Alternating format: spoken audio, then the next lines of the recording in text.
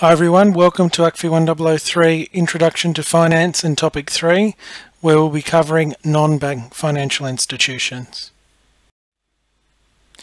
If we have a look at what we've done over the past couple of weeks, in week one we introduced the financial system which was made up of financial institutions, financial markets and financial instruments. In week two we covered the financial institution banks in more detail and what we're covering in week three is non-bank financial institutions in more detail.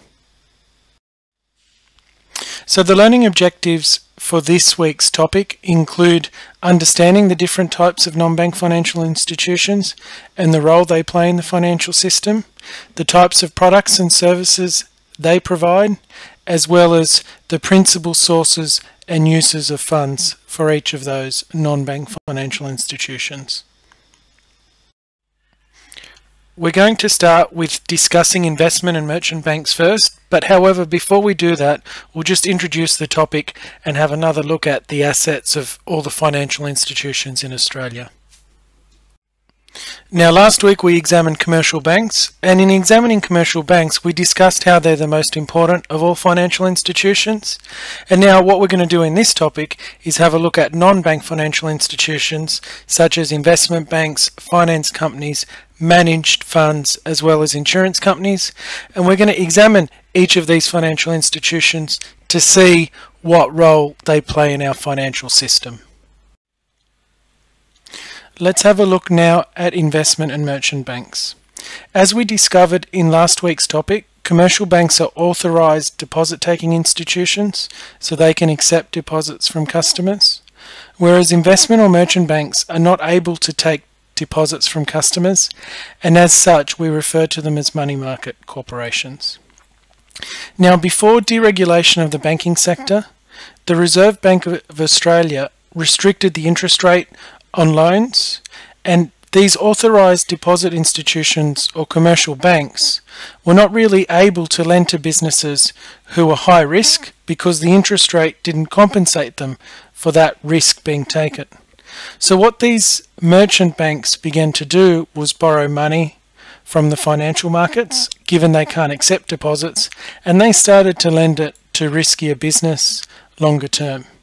And what happened was they started, as a result, they started to grow quickly.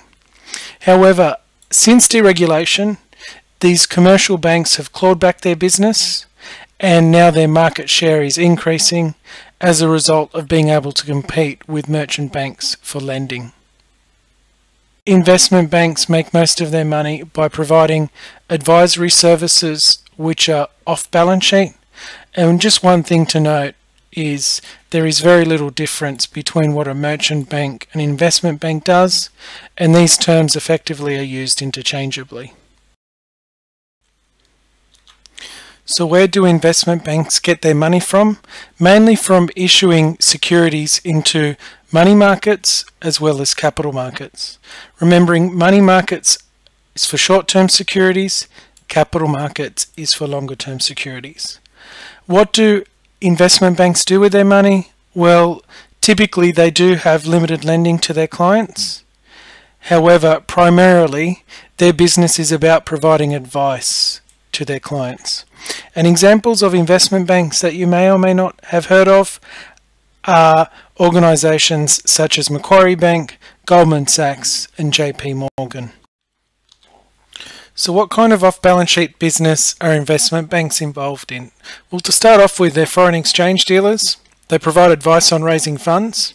So for example, if a company is looking at raising capital to invest in a project, then an investment bank will advise them on how best to achieve that. They might underwrite the issue. So for example, if the company is looking at issuing shares and investors don't take up all of the shares on offer, then if there's an underwriting agreement, then the investment bank will take up any shortfall. Investment banks also provide advice on mergers and acquisitions, whether they be in the same business, a related or unrelated business. And the reason for a merger and acquisition might be because of economies of scale, increasing efficiency, or finance. So if it's a bigger company, they might have a greater scope to finance the business, more investment opportunities. It might be because the business wants to diversify into new areas, and there are also tax considerations associated with mergers and acquisitions. And what these investment banks will provide is basically some analysis and advice associated with the process of merging or acquiring another business. So as I mentioned previously, that would be analyzing and valuing the business so that their client knows, for example, what a fair price is. They will help with the negotiation process, provide due diligence associated with checking the operational and financial condition of the business that is being merged with, as well as any associated regulatory requirements.